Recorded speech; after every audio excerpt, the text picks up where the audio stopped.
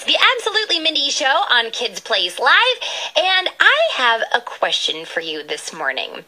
I was thinking about this yesterday, and I thought, man, this year is so different than we ever thought it would be. It is shaken out in ways that none of us could have anticipated.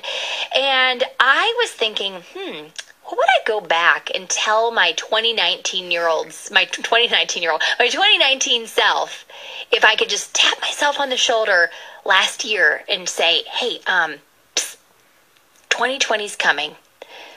This is what it's going to look like. Here's what you got to do now. What would I tell myself? What would you tell yourself? So, Tori, you were saying that you would fill your pockets with all the little bits of joy that you could and have them ready for this year when you need to reach out, reach in and, and find a little extra joy when you really, really needed it. Um, that's what you would do. I think that I probably would have told myself, uh, ex- this fun you're having right now, don't even think about the next thing. Enjoy Yeah. the fun that you're having right now. Enjoy what you're doing right now. And don't even worry about the next thing. Mm-hmm. And because I think sometimes we have a tendency to, um, we're, well, you know, while, while you're on vacation, you think about your next vacation. that When kind I'm of on thing. vacation, I think Yeah. about how sad I'll be at the end of the vacation. Yeah. On Saturday, I'm already thinking about how sad I'm going to be on Sunday night that the weekend is over. Yeah. And that's not a that's not a great way to be. Uh huh. Or or when you're with your family and you think, oh, you could be having a good time with your family, and then you think, I'm not going to see you again for six more months, only to uh-huh. realize it might actually be more than six months because you don't know what the future holds. So, and you got to just enjoy the moment that you're in. That's what I probably would probably tell myself. So let's go to the phones. I want to hear from kids and from grown-ups today. If you could go back and tap your 2019 self on the shoulder and say, Psst, I got some advice for you for this coming year, what would you tell yourself? So let's go to Maddie in Wisconsin who's standing by. Good morning, Maddie. Good morning. So I would tell myself to eat a hundred cakes. you would tell yourself hundred cakes. to make, wait, eat or make a 100 cakes? Both. Both. How about this? What if you went back and you tapped your 2019 self on the shoulder and you said, hey, Maddie, this next year is going to be a little bonker balls. You're not going to be able to share cake with people. But for the rest of the year, I want you to make a 100 cakes and I want you to share every one of those cakes with someone you love. Yep. That's what I do. Yeah. So you would make the cake, you would find someone to share the cake with you, and you would uh, just sit there chatting, laughing, and eating cake with a hundred different people that you love. Do you have a hundred people in, in your life that you love? Yes. Yes, I do. Or do you have, or do you have like fifty, and then you'd eat fifty cakes on your own, or give fifty cakes away? no. No. All right. So you would just be like, eat the cake, share the cake, and maybe, you know, cake is a sign of celebration. Maybe celebrate the little things. Maybe you would have cakes to celebrate all the little things. And you know what? You can still do you can still do that in 2020. When there's like a little win, there's a little bit of good news, celebrate it with a little cake, okay? Yes. Yay. Thanks. It was fun talking with you, Maddie. Thanks for calling. And I think your 2019 self would be proud of, of who you are you. today. Have a great day. Let's go to Nora in Wisconsin. Hey, Nora. Hi. All right, Nora, if you can go back and tap your 2019 year old self on the shoulder and give her a little bit of advice, what would that advice be? So, go to Disney World while you can. Go to Disney World while you can.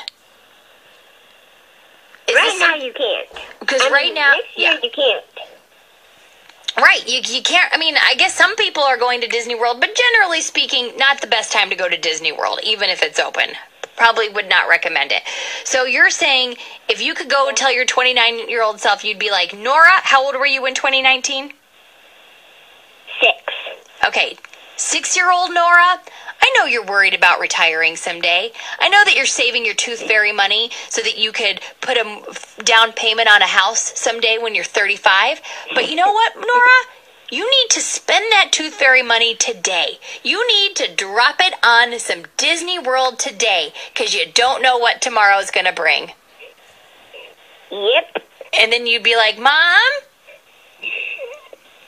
Uh, Can we go to Disney World? Just told me we should go to Disney World today. I've got some Tooth Fairy money. I've got my life savings. Yeah, we need to do it today because we don't know what's happening tomorrow. That's a great idea. So just go take the trip, do the fun thing, go to Disney World. Stop putting it off. Yeah. I like that. All right, Nora, have a great day. And you know what? Disney World will still be there when all of this is over. I'm pretty sure of it, okay? In the Yeah. meantime, you should you should do things that you would normally do at Disney World, like um, find ways to wait in line. You can get your whole family together and form a line and just wait in it for like 90 minutes. Okay? You could wear costumes for no reason. If you are riding your bike, you could pretend like you are just ride your bike in circles and pretend like you're on that Dumbo ride, that flying Dumbo ride. Yeah.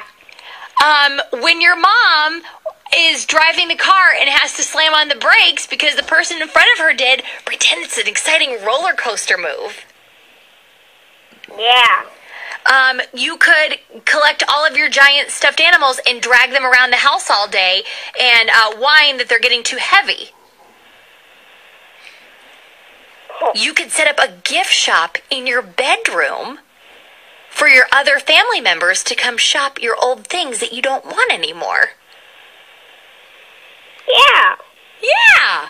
There's a lot. You could um you could buy overpriced food from your kitchen. You could eat a churro for breakfast. There you go. You could create Disney World right there in your own home.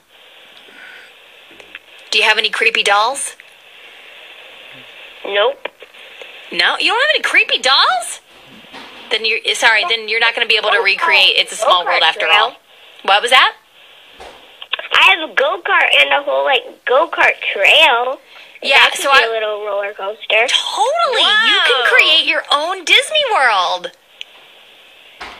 I say go for it. Cuz your 2020 your 2021 self is saying make your own Disney World. Trust me. Trust me on this one. Thanks for calling Nora. Happy uh today. Have a great day. Enjoy your homemade Disney and let us know how it goes, okay? Okay. Thanks. Bye, Nora.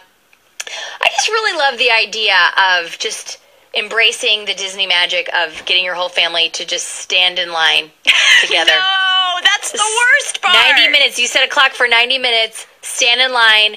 Every 30 minutes, you take two steps forward. No, that sounds terrible, Mindy. And no bath, nobody can break the line to go to the bathroom. You gotta hold it. no, is gonna- no. yeah. I, I, I, I gotta hit the bad idea button on this one. That's how you do your that's how you do your Disney at home. All right, we'll be right back. 1-866-328-2345. If you could give a bit of advice to your 2019 self, what would it be? I'd like to take calls from kids and from your grown-ups. I'd love to hear from your grown-ups too. 1-866-328-2345.